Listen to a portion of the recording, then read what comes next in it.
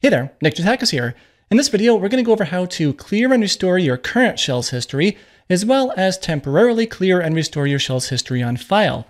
This could be handy for a couple of different use cases. For example, maybe you're about to record a video and you want to make absolutely certain that your shell's history is not going to be shown on video because editing that stuff afterwards is kind of annoying there. You got to make sure every frame is blurred, etc. Or you might be giving a presentation to a client or demoing something for work, or maybe you're doing a live stream or broadcasting an event for something, and you just want to make sure that your history is never shown just to be safe, right? You don't want to leak any client work or anything like that. So in this video, we're going to go over both use cases, right? clearing it in the current shell, as well as uh, an ability to do it for all shells. Like, you know, if you open up a couple of different Tmux windows, then uh, it's going to be cleared there as well. So normally my font size is a lot bigger, and I will be bumping that up once we start looking at code. We are going to be going over a couple of different scripts that I normally run before I even start recording, which handle things like clearing out my history and then restoring it back, doing a couple other stuff. But uh, yeah, we're also going to go over an alias that I call because you'll notice that there's a, an interesting use case around this one. But yeah, without uh, more delays here, let me first do a control R. This is my normal shell history. I'm going to actually have to blur this one because there are a couple of commands in there that I kind of just don't want to show on video. But rest assured, this is my normal shell history. You know, there's uh, thousands of lines in there. Normally what I do is I end up running uh, one script called start recording, which is an alias actually, start rec is an alias. And this does a couple of different things. It bumps up my font size, it deletes some temporary files from Vim, and it handles clearing out my shell's history in the current shell. So now if I do control R, my shell's history is completely empty. But also if I open up a new terminal session, like just uh, opening up a window here in Tmux, we can see that it's actually cleared here as well. That's because uh, that script, it actually, well, we're going to get into it in a bit, but you know, it deletes my old history file and basically, well, it doesn't delete it, it copies it to a backup file and then it removes the, original. But yeah, so that's how you handle the persisted one, uh, you know, so you can open up, open up different shells. But it is a little bit interesting to get the current shell modified here. But let me go and hit stop recording now just to show you that, you know, when I revert this, things go back to normal. You know, font size is now a little bit harder to read. But if I do control R here, my history is back to normal here. It's like I never left. Uh, you know, my history file while recording is basically uh, lost, which is exactly kind of what I want.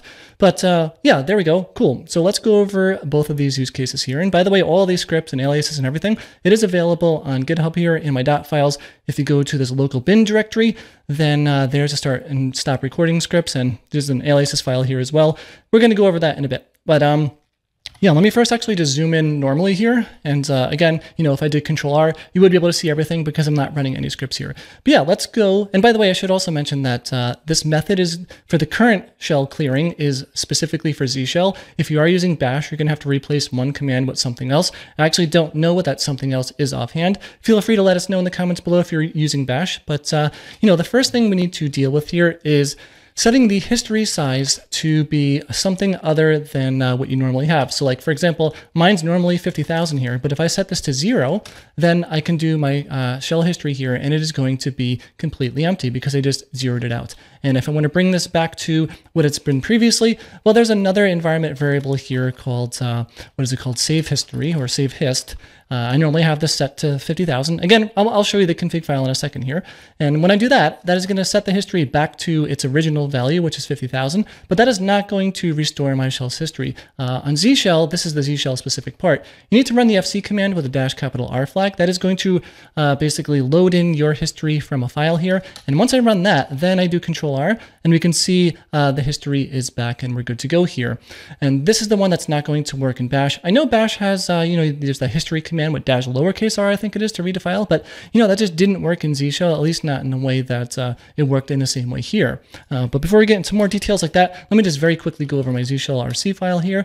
And by the way, these are all standard shell environment variables related to your history file. You know, I configured where that history file is on disk. It's in my uh, home config directory or cache directory, sorry, uh, and then Z shell and history here. And if I actually go to my Z profile file, we can see that uh, we do have, you know, the specification here for base directories here. That uh, cache directory is in my home directory for cache. And then, you know, if I open up a new window here and we go to that um, cache Z shell over here. And again, like you saw, like some autocomplete there, that was uh, something for a project. I'm going to have to blur that one out, unfortunately, but uh, that's because my shell history hasn't been cleared when I made this video. But uh, yeah, in here, this is where my history is, and you can see the backup file is here as well. Uh, cool. That is where things are all set up here. And these are all available if you're using bash or Z shell, you know, there's nothing custom here, but this is where I have these two environment variables set to what I want them to be, you know, 50,000 in this case. So yeah, we went over how to clear it out and then restore it back. And that's the current shell. But if I were to open up a new terminal window, then yeah, it is not going to be zeroed out. So it's zeroed out here. Like if I run uh, the history zero again, and then uh, we just do that. But if I were to open up a new terminal window here, let me just open up a brand new one. Yeah, it's not going to be uh, cleared out. We can see it's all there. So now we need to go into, well, how do we do it? A persisted uh, history file, we basically need to delete that, right? So let's go and check out that start recording script. And this script does quite a few things. You know, that's all the output that we saw before, but we're only going to focus on these two lines over here. So it copies your normal history file to a backup file, and then it just removes your original history file, basically, you know, nulling it out. Your history file is now going to be empty, but you do have a backup over here.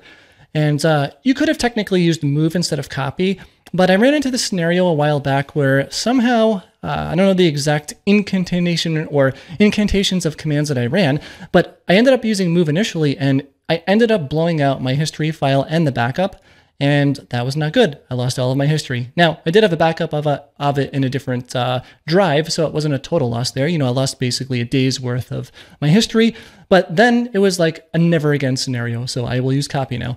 And uh, yeah, so, you know, this just copies the file and then removes it there. And you might be wondering, like, you know, why aren't you also setting the history file to zero in here? And that's a great question. We're going to get to that in a second here, but let's first look at the stop recording script real fast just to show you how that gets reverted.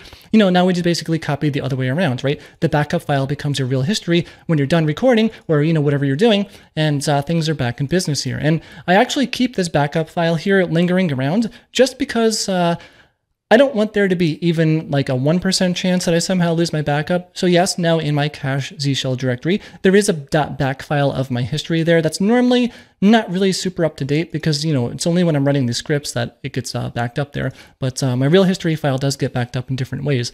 But yeah, it's basically an insurance policy. I don't feel comfortable dropping in like an RM on this back file here just, just, just to be safe. Um, but yeah, now you might be thinking like, well, again, you know, going back to here, why don't you just set the history file like this, right? Like uh, hist size equals zero. And that's a great question. Like I can do that here and then I can run that FCR command in the stop one as well as setting it back to what it was before. But that will not work. So a couple of months ago or whenever it was, I made this one video around how I converted a whole bunch of different aliases to individual shell scripts. So if you go to this bin directory, you know, a couple of months ago, whenever it was, two or three months ago, these all didn't exist here. These were all aliases in my single aliases file or alias file. And then I could have done something like setting the hist size to be zero and then on the other side, like just revert it back. Because when you run an alias that is executing in your current shell, but this is a dedicated shell script that is not going to modify your current shell. So that is why you can't put that in here. Now, there are ways you can sort of maybe work around that. For example, instead of running the script like normal, uh, you can just source it in. So if you do like start recording, uh, if your shell is compatible with the way this script is run, then you will be able to source this into your current shell, and then those environment variables that you're setting will apply and things will work.